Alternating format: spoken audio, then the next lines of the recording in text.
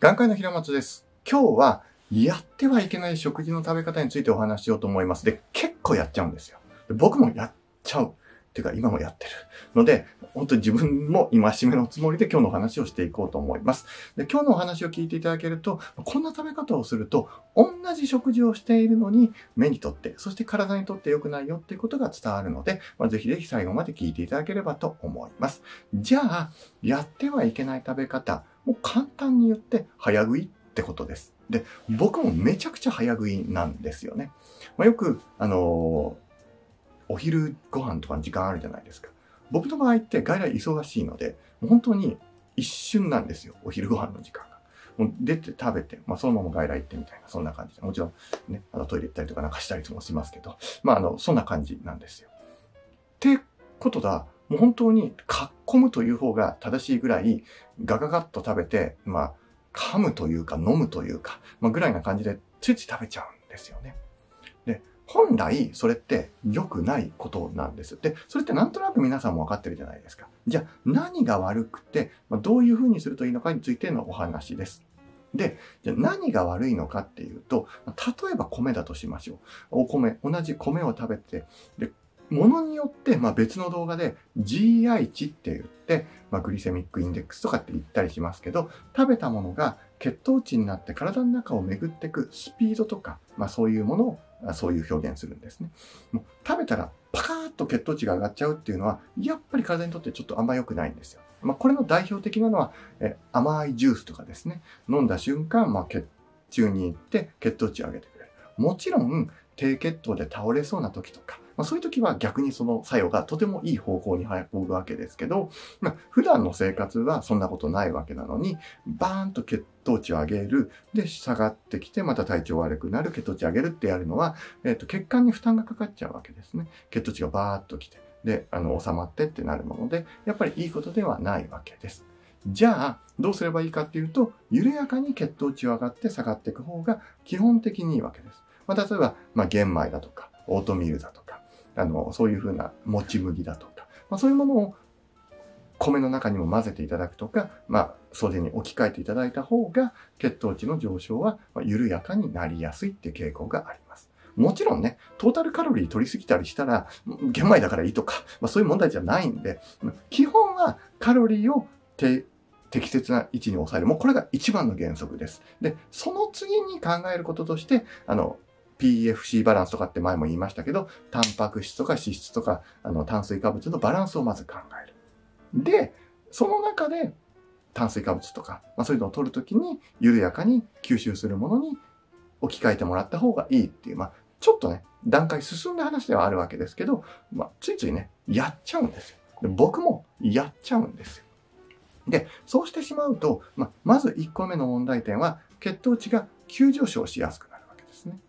食べて、もぐもぐってゆっくり噛んで、で、だんだん胃に入って、だんだん消化吸収されていく人に比べてガバって飲んでしまうわけなので、消化吸収は、えーまあ、消化吸収にちょっと時間がかかるっていうのはあるんですけど、とはいえ、さっさと表面の部分とかはザザッといってしまうわけなので、まあ、それは良くないっていうところがあります。ていうことで、血糖値の急上昇を招きやすい。2点目としては、基本的には満腹感が得にくいっていうことがあります。当たり前ですけど、同じものをもぐもぐもぐもぐ食べてると、時間もかかるし、ついつい食べ過ぎるっていうのを防ぐことができるわけですね。僕とかもバババって食べちゃうもんだから、なんか、なんかお腹また空いてる気がするな、つって、またさらに食べるんですよ。で、なんかしばらくするとむしろお腹きついなって感じになってきて、食べ過ぎたなって感じになりやすい。結構カレーとかね、カレーライスとか結構そういう傾向ありますよね。ラーメンもその傾向あるかな。っていう感じで、だからカレーとかラーメンは比較的今控えるようには一応してますけど、ついついついついかっこみやすいというか、まあそういう傾向があるので、まあそういうものは余計注意してもらって、えー、ババーって食べちゃうんじゃなくて、かなり噛んでとか、えー、まあ、もし噛むのがなかなか苦手な場合も、水分をあえて取るとか、まあ、そういう風にしてほしい。例えば、ちょっと食べて、お水飲んで、ちょっと休んで、で、食べて、お水飲んで、休んでみたいな感じにしていただくのも一つの方法になります。で、最後に僕がやってるちょっと反則に近い方法もちょっとご紹介するんで、ちょっとそれも参考にしていただければと思うんですけど、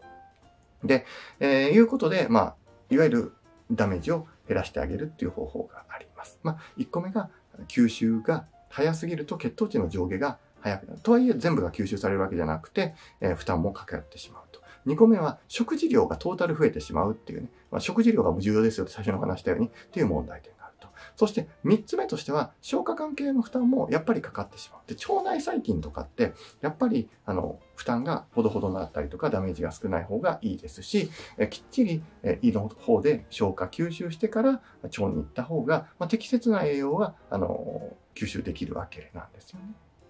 なので、まあ、ちゃんと噛んでないと、やっぱりそれ残りますよね。まあ、ちょっと汚い話で申し訳ないけど、コーンとか食べると、ちゃんと噛んでなくて、そのまま出ることってありません？ね？あるじゃないですか。あるんですよ。っていう感じで、やっぱり、うん、ちゃんと摂取してないと、それがそのまま出てしまうと、まあ、腸とかの腸内細菌とかにも負担をかけてしまう。腸内細菌とかって目と関係なさそうですけど、意外と結構関係してくるんですよ。なんでかっていうと、目も腸内細菌と一緒で細菌層でできているので、細菌のバランスが崩れてしまうと、アレルギーっぽくなったりとか、炎症を引き起こしやすくなります。特に炎症ですね。ブドウ膜炎があるとか、体の炎症を起こしやすい人は、腸が悪い人っていうのも結構いるんですよ。腸が悪いって言うと結構適当な言い方になっちゃいますけど、まあ、あの、負担をかけてしまうのは良くないことですね。で、なんか、腸を良くすれば、あの、すべてが治るとか、そ、そういうこと言いたいわけじゃなくて、あの、負担をかけないようにしっかり咀嚼してから食べた方がいいです。まあ、よく、なんていうか、ペースト状になるまで噛みましょうって言いますけど、めんどくさいですよね。いや、僕も分かってますよ。その方がいいのは。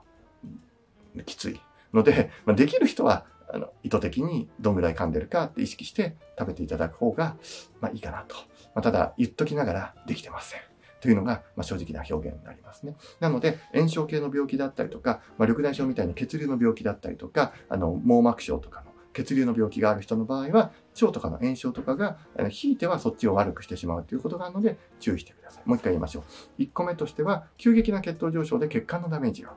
特に緑内障とか、強度筋腫があるとか、まあ、そういう方の場合とか、あと、黄斑変性とか、まあ、そういう人は注意ですよね。で、え、2個目としては、ついつい食べ過ぎてしまう。オーバーカロリーになってしまうってことですね。ま、これも、まあ、いわゆるこう、